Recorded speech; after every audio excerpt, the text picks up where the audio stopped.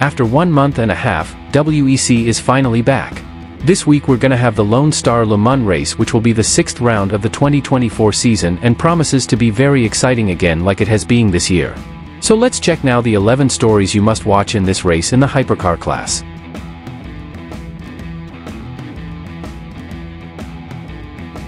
COTA is returning to the WEC after being absent for four years. This track is located at Austin in Texas and is the same place which we have the United States Grand Prix in Formula One. COTA has been in the WEC between 2013 and 2017 and had an unexpected return in 2020 because the six hours of Sao Paulo was removed from the calendar due to the financial issues. In 2022 and 2023, WEC competed at Sebring with the 1,000 miles race when they went to the USA. However with disagreements between ACO and IMSA about Sebring, WEC needed to find a new place to race in the USA and with that, COTA returned to the category.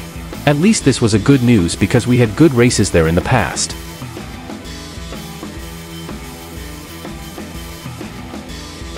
It will be the first time that the LMH and LMDH cars will be competing at COTA because the hypercar class was introduced in 2021. Because of it, no teams have an idea about what would be the race performance at Austin. Which team will be better this weekend?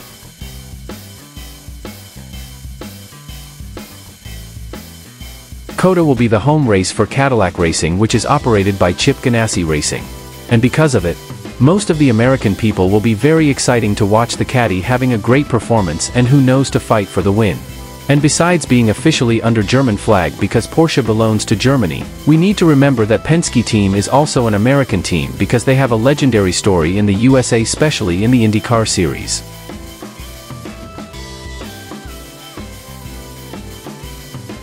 Porsche Penske number 6 with Andre Lotterer, Kevin Estre and Laurens Vanthoor is the current leader in the Hypercar Championship with 117 points winner at the season opener at Qatar and three second places at Imola, Spa-Francorchamps and Sao Paulo rounds, the six crew aims to be the first team to get a second win at the WEC top class in 2024 at COTA and to extend the current 19 points of advantage to the second place in the championship.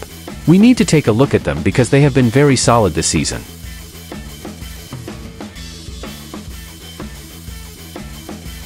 And now let's talk about its sister car number 5. With two pole positions and three podiums, the number 5 crew didn't win yet this year. With a better lineup compared to last year, Fred Makowiecki, Matt Campbell and Michael Christensen didn't have a chance to win because its sister car the number 6 is having a better performance. Will we see the number 5 winning at COTA and to become a sixth different winner in the hypercar class in 2024?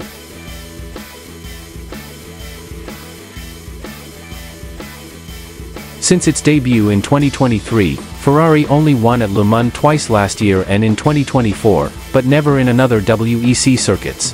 The best chance they had to win was at Imola, but a wrong strategy when the rain came made them lose the victory and they also lost at Spa-Francorchamps because of the red flag caused by an accident involving Earl Bamber and Sean Gelael. Will the Maranello team win at COTA or not?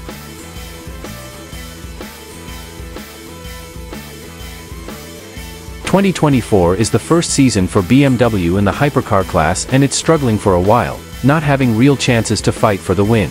But we know that WRT is a very competitive team in sportscars and they're getting infos on the track to understand better the M Hybrid V8. But will COTA be a good chance to shine for the BMW WRT team?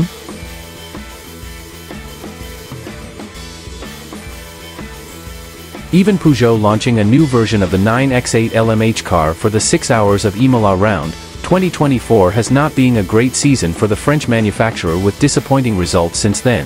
Peugeot has been very far for the fight for the podiums like it happened at Le Mans and Monza last year and also at Qatar this year and this disappoint a lot the drivers, especially Jean-Eric Vergne who said at Sao Paulo that they need a better car.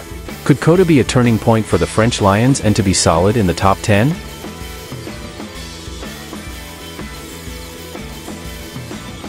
2024 is also the first year for Lamborghini in the hypercar class.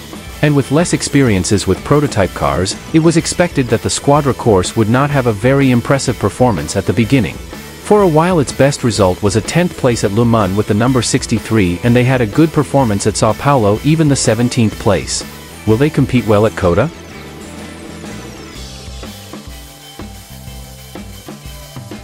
Hertz Team Jota number 12 was the only team to win in an overall race which was the 6 hour of Spa-Francorchamps and also finished on the podium at Qatar in second place this year. Proton competition almost had this chance at Spa but Red Flag didn't let this happen. AF Corse 83 was fighting for the win at Le Mans, but a mechanical issue forced them to retire from the race. Will we see a customer team competing well at COTA and to fight for the win?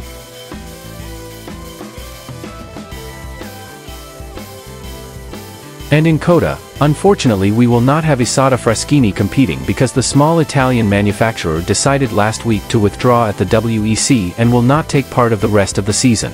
And with that, we will only have 18 cars in the top class in the USA this weekend. So these were my preview in the hypercar class for this weekend at COTA. Who's going to win in the Lone Star Le Mans race? Which team are you going to support? So let me know your opinion in the comment section below. And don't forget to subscribe to the channel to not lose any more videos about WEC. We see you in the next video.